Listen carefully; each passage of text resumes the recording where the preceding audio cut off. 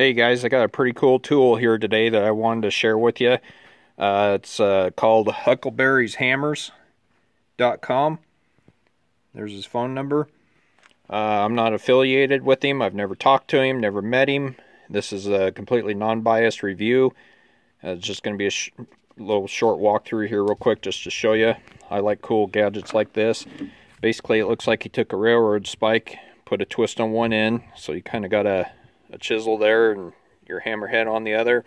Then what's cool on this end is this pulls out and you got a fifth wheel pin puller.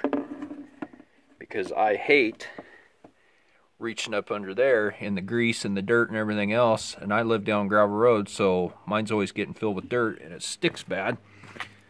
But this thing you can reach up there you can pull it from out here outside the trailer. Almost outside the trailer. Pretty slick.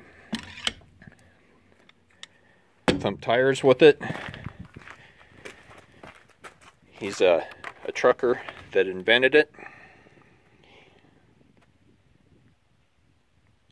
He's got a whole list of stuff that this thing can be used for.